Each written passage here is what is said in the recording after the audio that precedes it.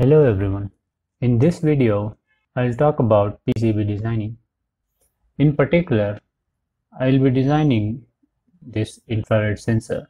Uh, this infrared sensor you see here is a double-sided board with SMD components. SMD components are very small and are mounted on the surface. But we'll be designing a through-hole version of this board. So let's start. Software I'll be using is DipTrace. DipTrace is a free version. I'll put a link in the description if you want to download. This is the circuit diagram of the infrared sensor. So I'll be referring to this circuit diagram while designing the PCB. My goal is to design a single-sided PCB of this infrared sensor of similar size. Let's see if we can achieve that. To begin with, let's start gathering all the components that are in the circuit. First, the LM358 IC, which will be the 8-pin DIP. We have this. Now we need two LEDs for infrared transmitter and infrared receiver. So we'll find this component in the general library.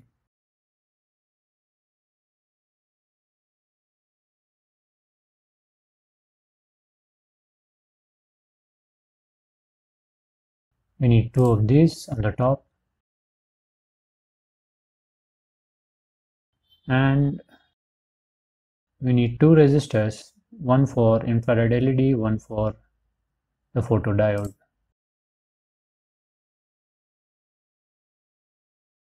I'll just copy and paste this one.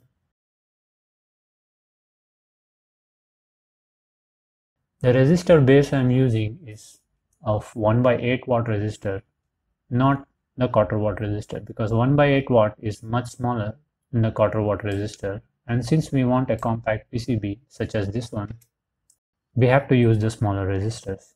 Also this infrared sensor uses very little power so using a small 1 by 8 watt resistor will not be a problem. We have resistors next we need one more LED so I'll just copy and paste this.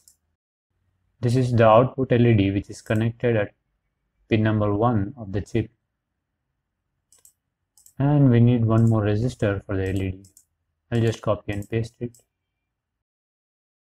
The last component we need potentiometer RV1 as indicated in the circuit diagram. We'll find that in potentiometers library.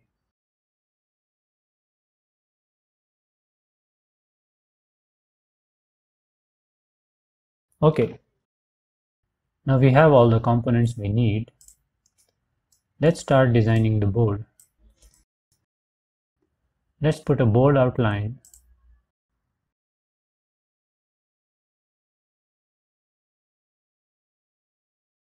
Create a rectangular board of width around say 20 mm by 40 mm. I have put a slightly larger area than the infrared sensor and then we can make it more compact later. Let's see how compact we can make. Now let's put the component as near as possible referring to the circuit diagram. Oh, we need one more component. Forgot to add one more component, which is the 3-pin header at the bottom of the infrared sensor. So let's just add it. Let's go to General Library, go to Headers, and it will be at the bottom okay i think all the components are at their place. Next let's start naming the components. Uh, let's say this is photodiode. Let's copy and paste this. This is IR sensor. This is IR LED uh, we have a 100 ohm resistor. We have a 10k resistor we have LM358 we have a 330 ohm resistor at the output. Let this be 100 ohm resistor let this be the 10k resistor This is obviously the IC. This is the 330 ohm resistor. At the bottom we have three pins, output pin, 5 volt and ground.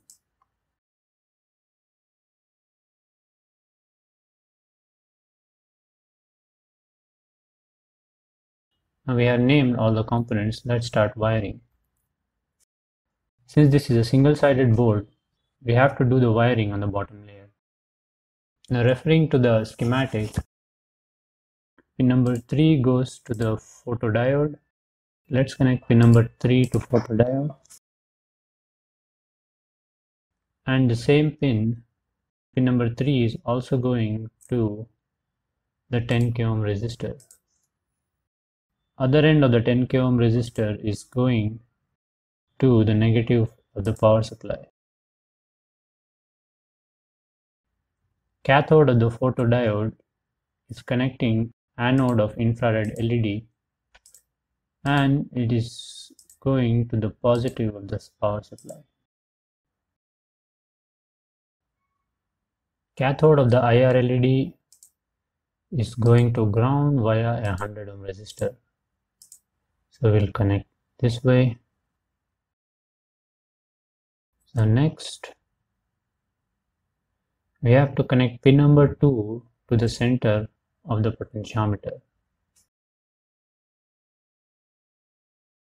uh, one end of the potentiometer is going to plus 5 volt and other end is going to ground uh, pin number 1 is going through the resistor to the output pins. So we have to move this resistor.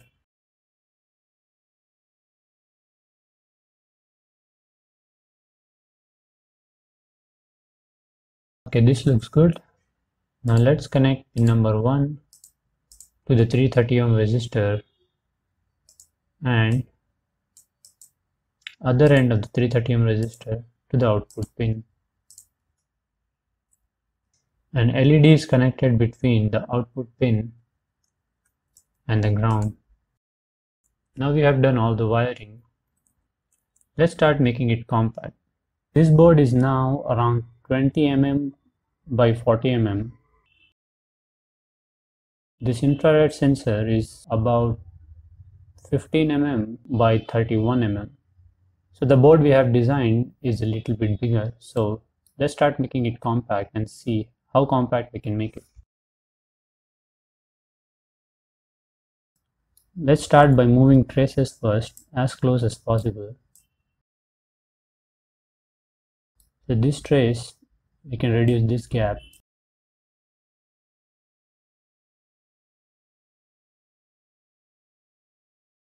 We can move the resistors a little bit closer.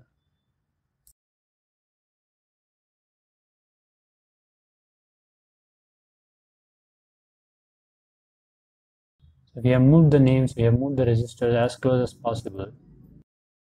We can also move IR LED and the photodiode even closer and we can arrange these tracks as close as possible.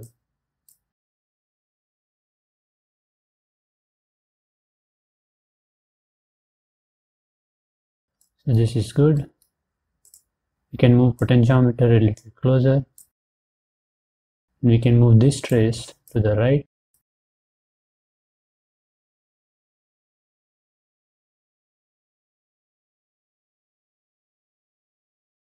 we can move this 330 ohm resistor a little bit near to the IC we can move this to the center. We can move this to the top so that we can make it more compact by freeing up this space at the bottom. We can put this on top because we'll have some space on top for bending the LEDs as you can see on the board so this is fine. Or we can even move this somewhere here. Since there are tracks at the bottom we can use this space for naming. Before our board was 20 mm by 40 mm let's see how much we have reduced it to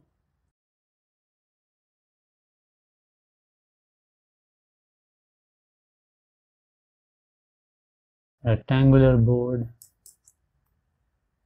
15 mm 16 mm. Okay 16 mm looks good so that there is some gap. And 35 no 34 33 okay 33 is good. You can see here there is some gap for the track. Let's put okay now our board is around 16 by 33 so we have reduced the size quite a bit. I think this is the best we can do.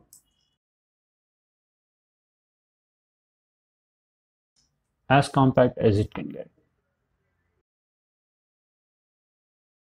The original board was around 15 mm by 31 so through hole board is around 16 mm by 33 mm so that's about 1 mm in width and about 2 mm more in length I think it's pretty decent now we have completely designed a new board for the infrared sensor module using through-hole components and it is as compact as the SMD board.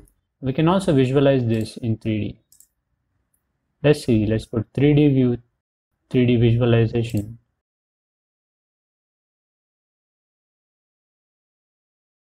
So this is how our finished PCB will look like. This is the bottom layer, all the traces, this is the top layer where all the components will go. So we'll have components on one side and the soldering on the other side. So I hope you like this video. I'll do more PCB designs of many other boards. If you like this video, click like and subscribe to the channel. Thank you.